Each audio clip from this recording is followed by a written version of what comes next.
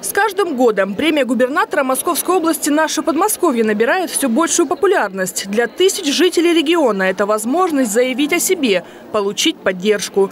Премия дарит обществу массу новых, интересных и полезных проектов, которые помогают в решении актуальных задач. Об этом на торжественном награждении победителей говорил губернатор Андрей Воробьев. Вы делаете добрые, важные дела, дарите внимание и заботу не потому, что существует премия, а потому что этому велит ваше сердце и ваше состояние души. И мне очень приятно, что премия стала традиционной. Мне очень приятно, что, несмотря на годы, количество участников не уменьшается. Премия вручается уже в седьмой раз. Ежегодный фонд – 180 миллионов рублей. В этом году организаторы подготовили нововведение. Проекты подавались в четырех номинациях – экология, творчество и духовное наследие, волонтерство и благотворительность, а также в номинации «Прорыв».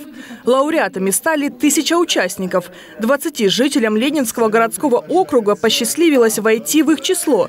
Каждый из них получит по 180 тысяч рублей. Все проекты, которые были э, на нашем здесь на муниципальном этапе э, просмотрены, они все живые проекты, они все запущены, они все будут развиваться дальше однозначно. Есть традиционные проекты, которые не первый год участвуют в этих мероприятиях. Есть новые, как э, «Твори добро» видно. Это новый проект, который амбициозно себя зарекомендовал в нашем районе. Вот. У всех своя жизнь, всех своя специфика, поэтому Ленинский район богат на хорошие, качественные дела.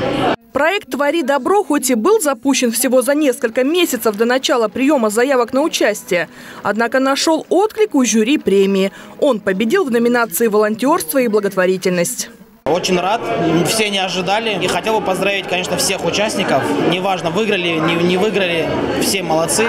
А в номинации «Творчество и духовное наследие» премию получили представители Видновского станичного казачьего общества с одноименным проектом. Приятно очень, что наша деятельность отмечена на столь высоком уровне. Э, хотелось бы напомнить, что основными целями нашей деятельности являются это возрождение казачьих традиций на территории нашего муниципалитета и патриотическое воспитание молодежи. Торжественное награждение победителей премии губернатора Московской области «Наше Подмосковье» сопровождалось выступлениями звезд российской эстрады. Я тебе подарю